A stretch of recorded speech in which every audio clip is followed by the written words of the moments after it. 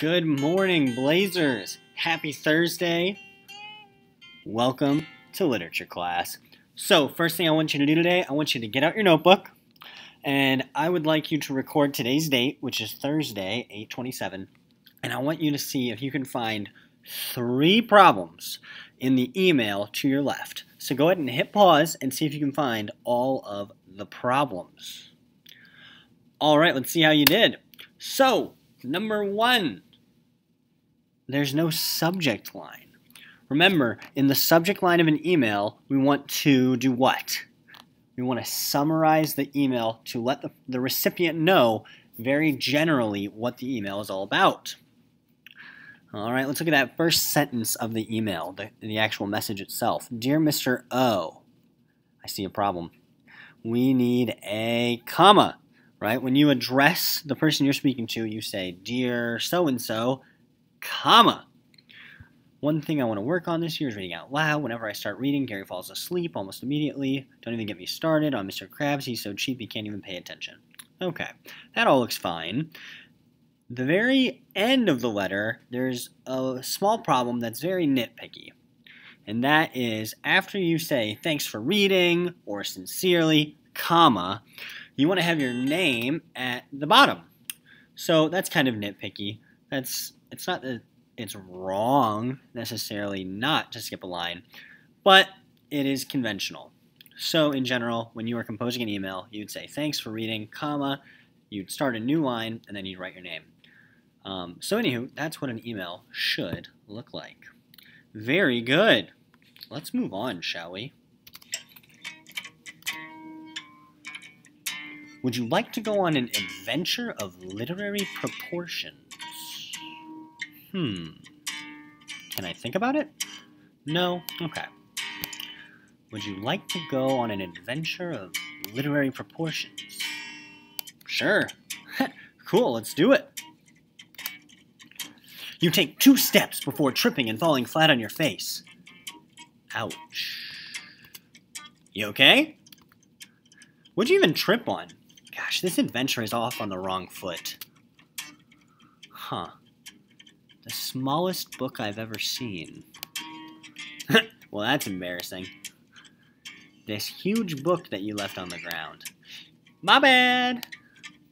Should we open the book? Do I even have a choice? Nope! Alright, well that makes it easy. Should we open the book? Absolutely. You try to open the large, dusty book, but it is so old, you really struggle. It sounds like a rusty door, it's so old. You sneeze! God bless you. The journey is lit? Huh. The time has come to venture forth. So grasp your compass point it north. Onward wander toward the end. Don't stumble now that you began. Sheath your sword and leave it fettered. Heroes know to fight with letters. The simpler path is not always best on this literary quest. Do you have your writing implement? Always. Cool.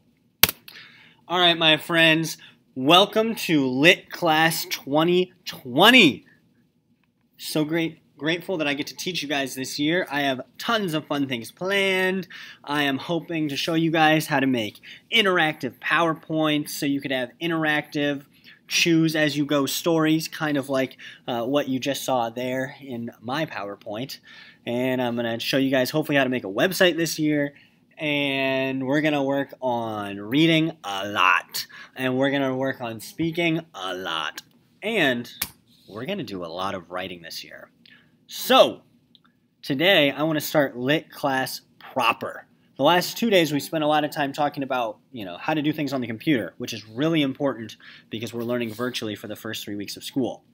But today I want to get started into lit. So, I need you to get out your lit notebook.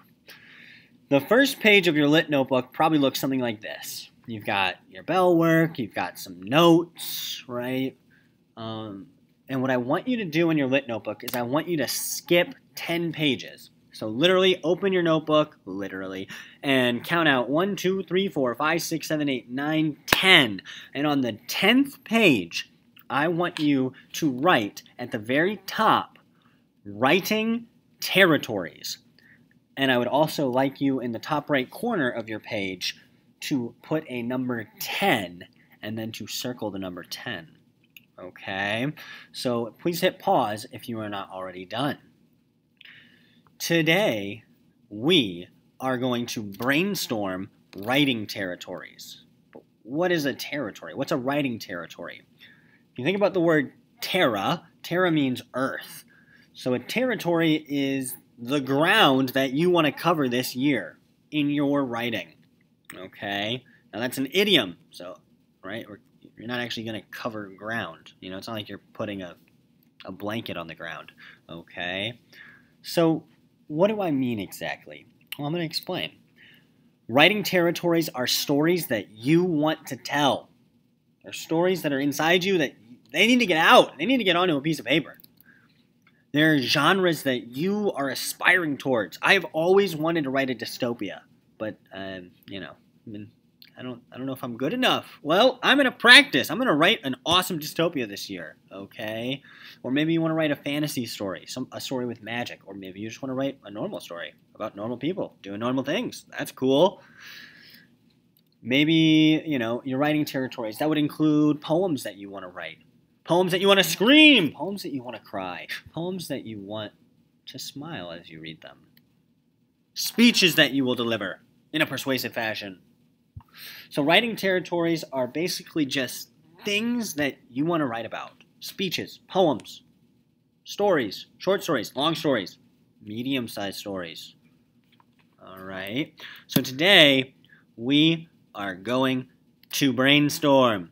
That's another idiom. There's not actually a storm in my brain, though it might seem like it. We're going to brainstorm.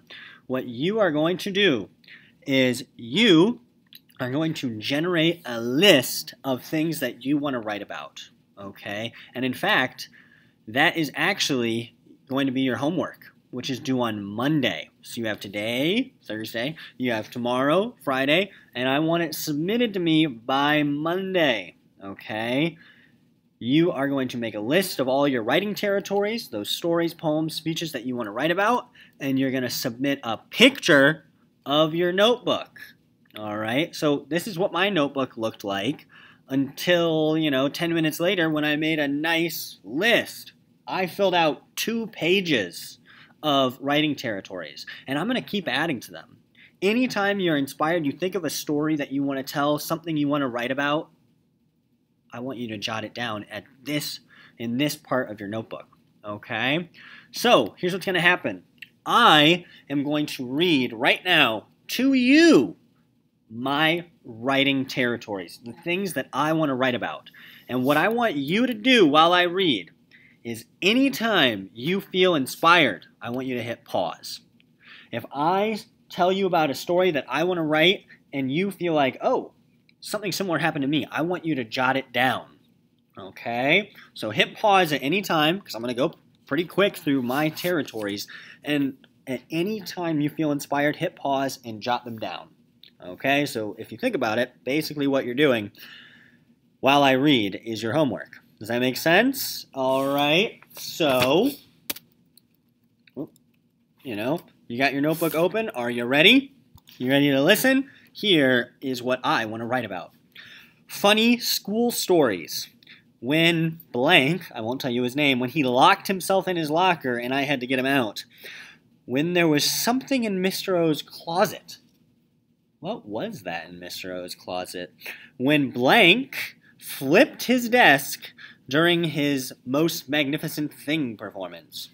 Sword fights in Romeo and Juliet. And Alice in Wonderland when we sent in a little bill. That was a fun story to tell as well.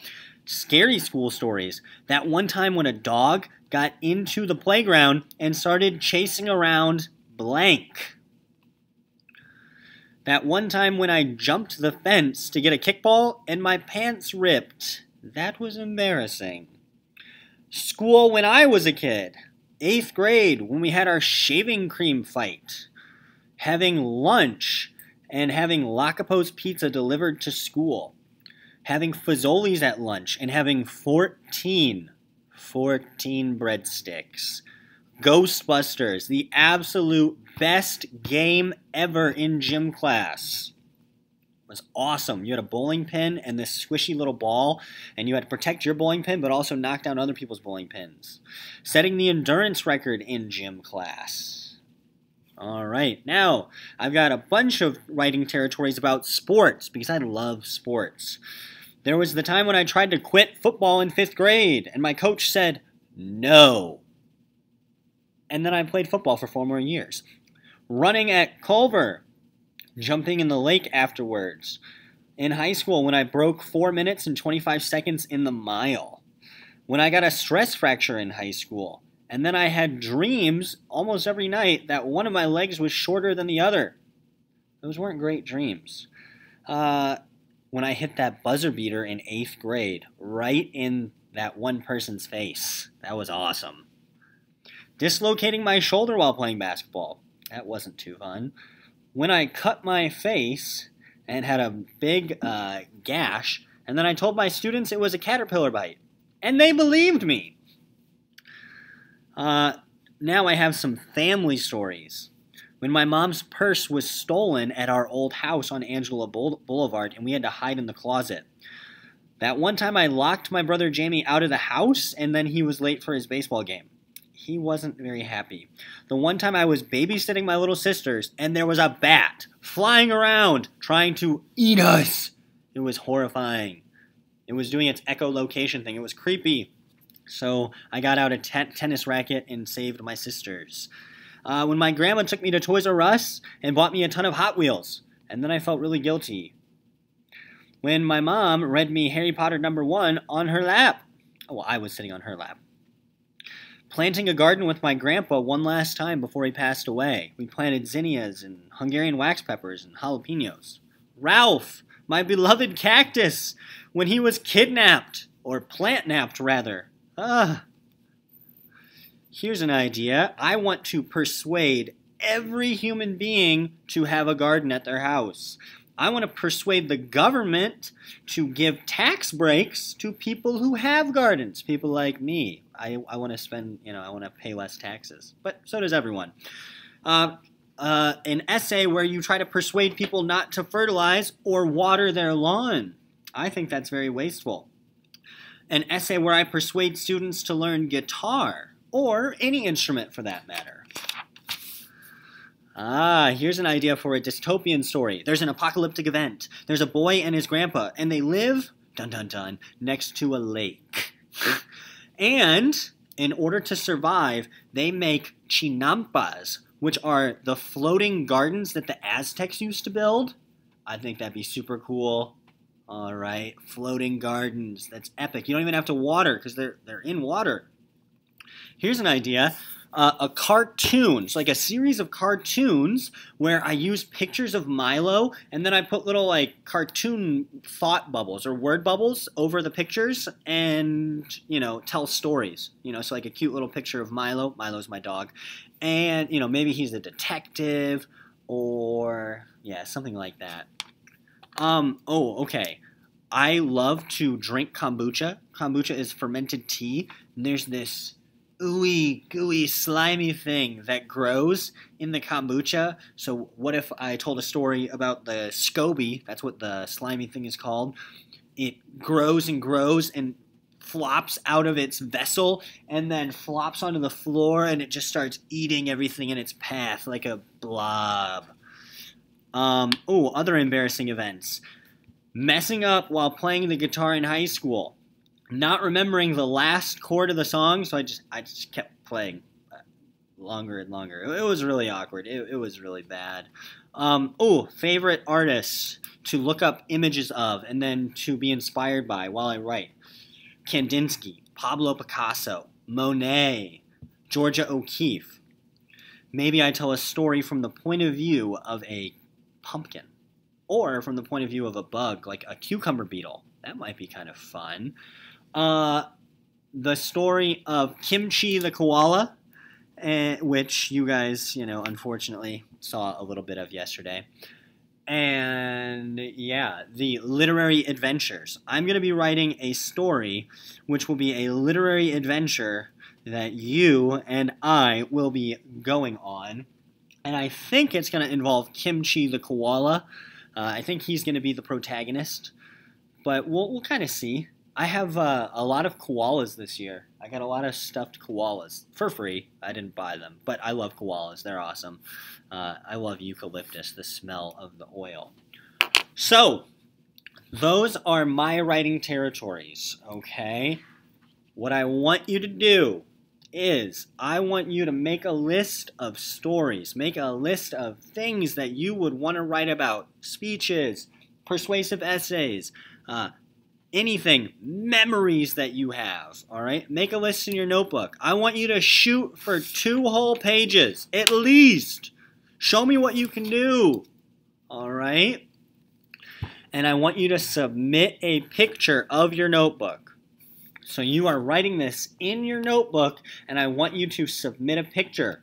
All right. I encourage you to use the Google Classroom app. If you have that app on your phone, it is super easy to do okay? And in fact, I'm actually going to uh, show you how to submit that tomorrow, all right? Now, you may have noticed I already made a video showing how to do it, and it's on the Google Classroom FAQ page. So if you don't know how to submit a picture, you could go to the FAQ page. But I will certainly show you how to do it tomorrow. Okay? I'm actually going to show you during our live literature class tomorrow. So be on the lookout for our uh, for the schedule of when I will be having my live lesson with you guys tomorrow.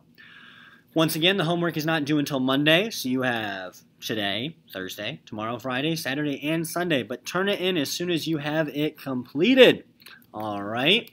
Now, I'm going to leave this image right here this will be the last thing you see at the end of the video. So if you want to hit pause, here are a bunch of ideas, a bunch of, you know, topics, if you will, that might help you as you are brainstorming your writing territories. All right? Happy Thursday, my dudes. Can't wait to have a live class with you tomorrow. You guys rock.